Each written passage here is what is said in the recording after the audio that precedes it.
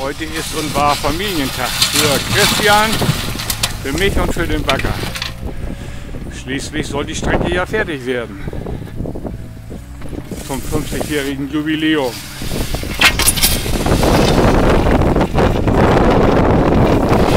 Jubiläumsgeschichte.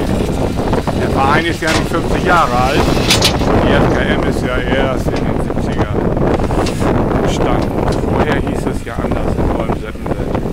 Einige wissen das ja noch nicht, die später angefangen sind im Verein.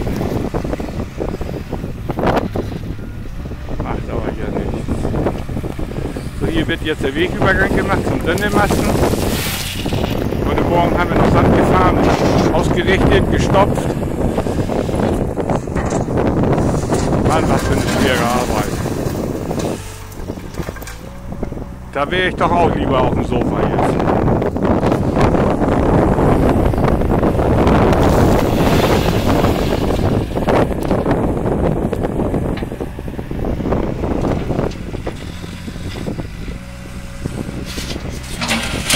Bauern haben das hier schon ordentlich vollgekühlt.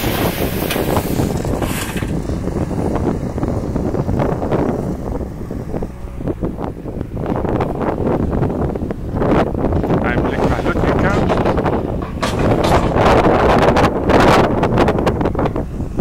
Und hier kommt unsere Ausweiche hin. Und ein Strang geht noch in den Schuppen.